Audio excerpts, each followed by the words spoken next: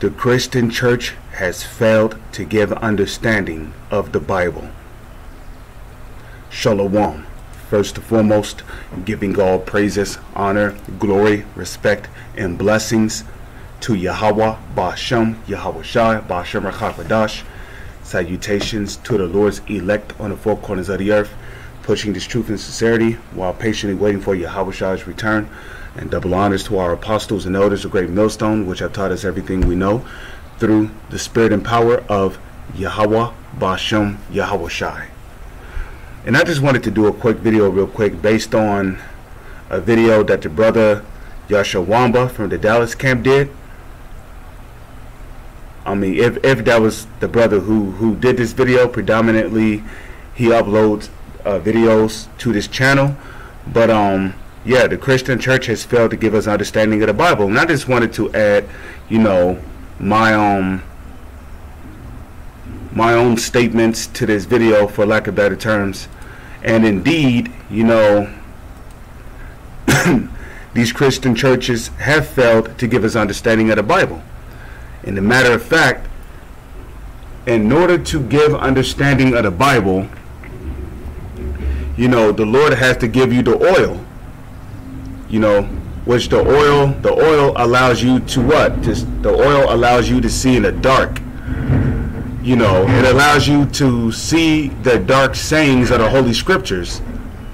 And and not everybody not everybody can understand the dark sayings of the holy scriptures. Okay, in order to understand the dark sayings of the holy scriptures, you know, the Lord has to give you the oil which which the oil is is um is how you you understand the scriptures. Okay, just like how an owl, an owl is able to see at night because of the oil inside of his eyes.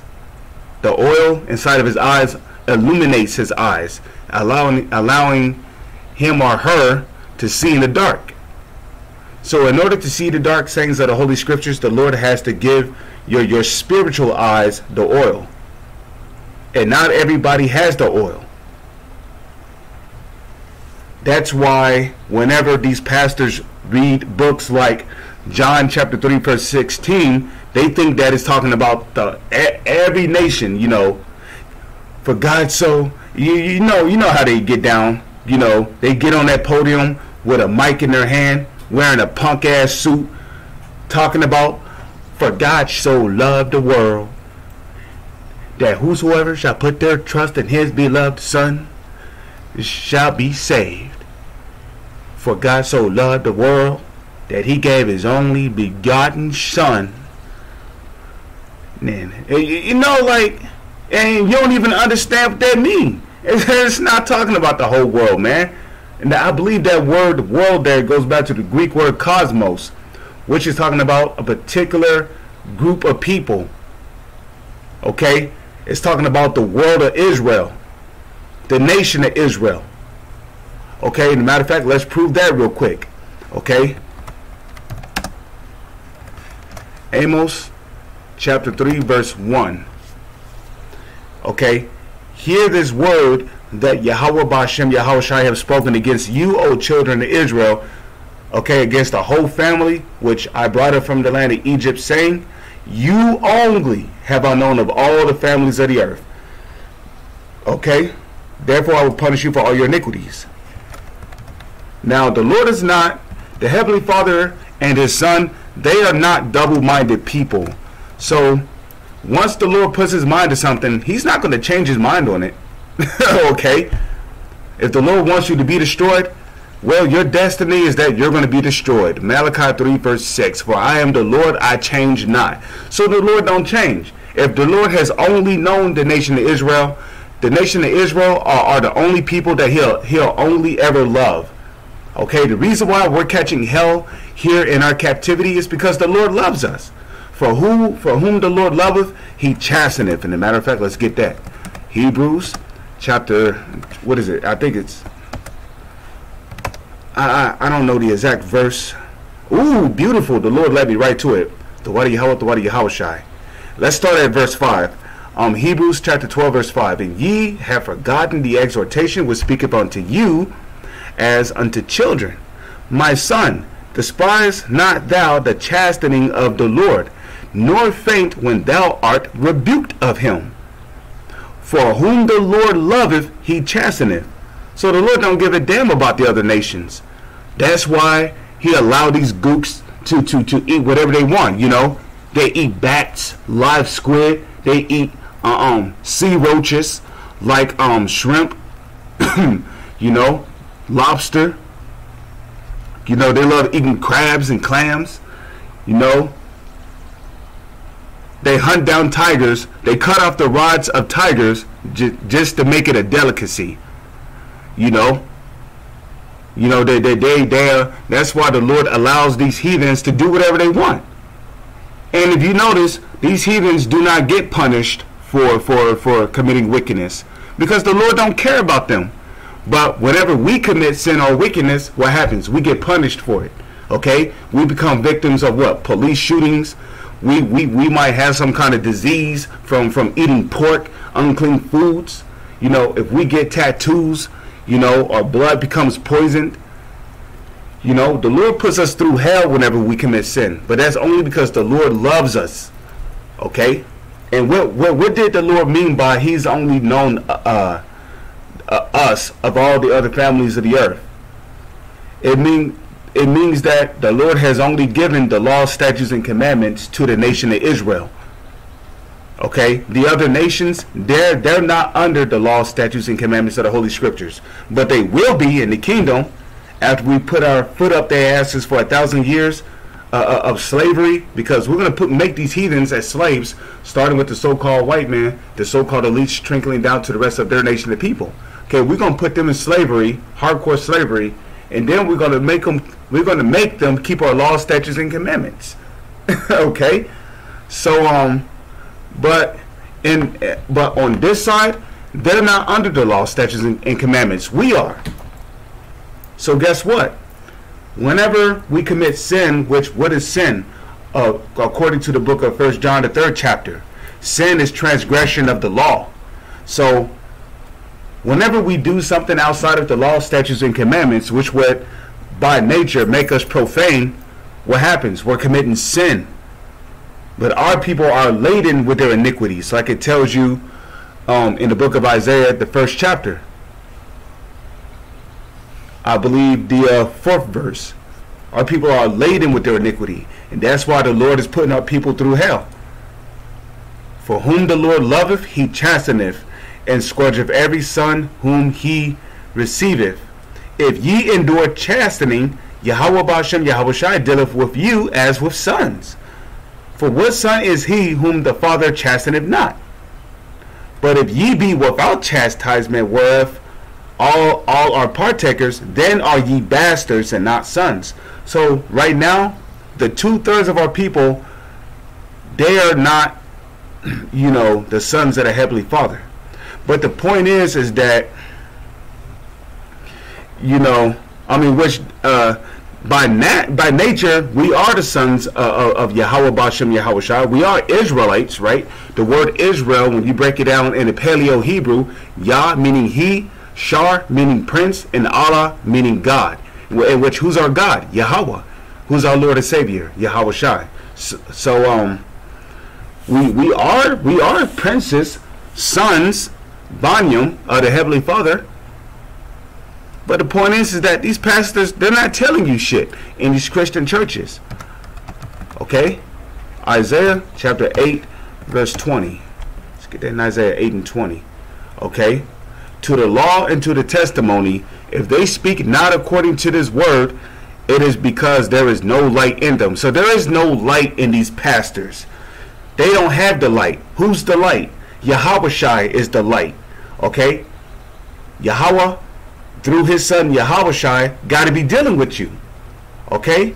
And the Heavenly Father is not going to give his, uh, you know his son Yahweh to just any old person. You have to be a chosen soul. You have to be of the elect in order to properly break down the 100% unadulterated truth. Okay? And you, you guys get mad, but we have the 100% truth. Okay? We have the light. We have Yahweh I mean, Lord's will I do. Lord's will I have delight. It would be a pleasure and an honor to have, you know, Yahweh you know, work working through me to properly teach and break down the Holy Scriptures. Okay, but the point is that you know, we we we have the 100% truth, man. Okay, we're teaching the exact same doctrine that our apostles teach, starting with Apostle Tahar, Apostle Kabar, and Apostle Amram Apostle Ariamlab, Apostle Rakha, and, and uh, the Apostle uh, um. Okay. Okay. So so we're, we're teaching the 100% correct doctrine. Okay, but these pastors they don't they don't have the light. That's why they you know that's why the one of the very first verses they bring out in these churches is what? John 3 and 16 for God so loved the world not knowing that that's talking about the Israelites. For Yahawah Bashem Yahawashi loved the Israelites. Okay I read it in uh, Hebrews uh, the 12th chapter and the 6th verse earlier just now. For whom the Lord loveth he chasteneth. And, and the Lord has only known the nation of Israel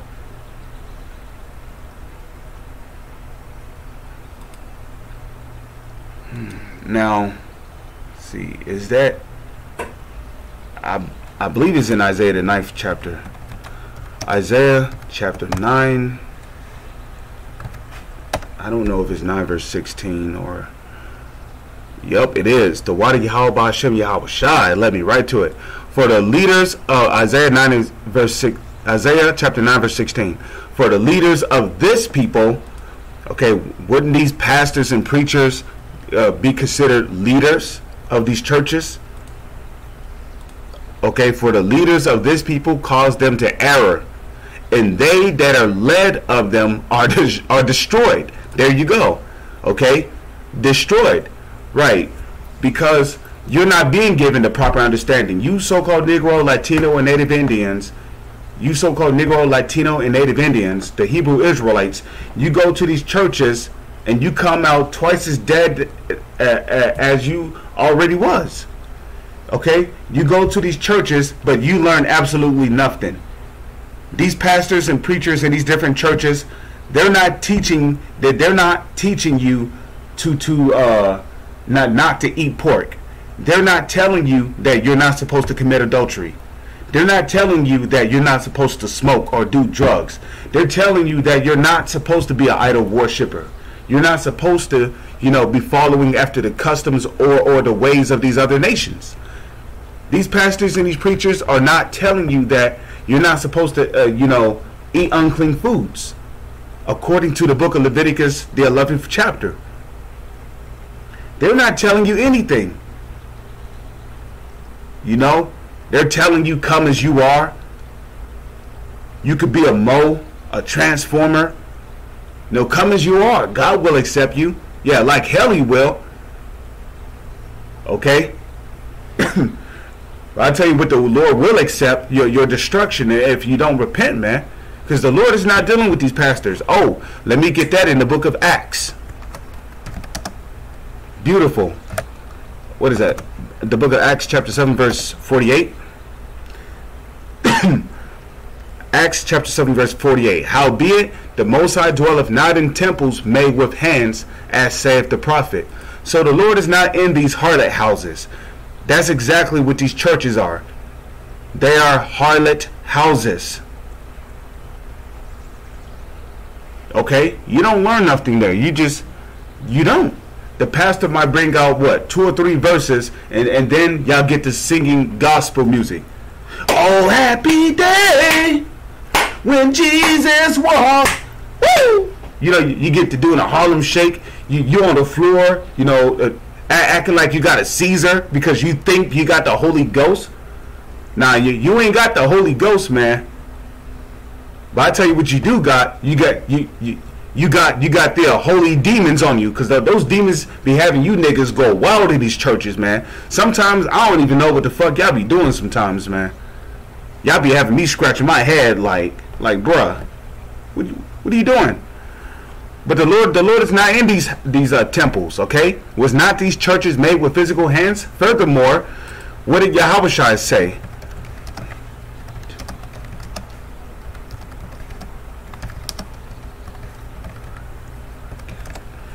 Okay, real church is when you see the brothers out there on the highways and hedges teaching all right, man. They want to play stupid, so let's go to google.com.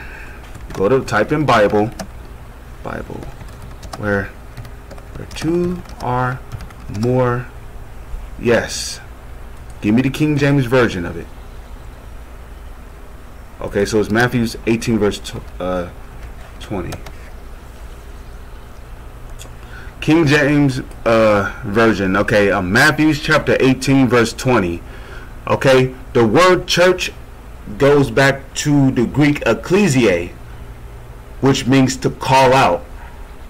Which that's where you get Ecclesiastes from. The word Ecclesiastes means church, I believe.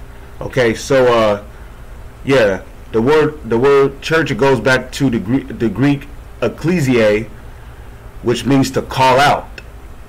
Okay, and, and according to the Holy Scriptures, where is where are we supposed to call out the prophecies and the breakdowns of the Holy Scriptures? Which which another word for call out is really uh, to preach. Where are we supposed to be a preacher of the Holy Scriptures? On the highways and hedges, outside. You know, on the street corners. That's where you're going to find the true prophets and teachers. Okay? For where two or three are gathered together in my name, there I am in the midst of them. Okay? So that's the real church. When you see brothers, you know, when, when, when you see a brother wearing a Hebrew Israelite garment, you know, they got the street signs out there.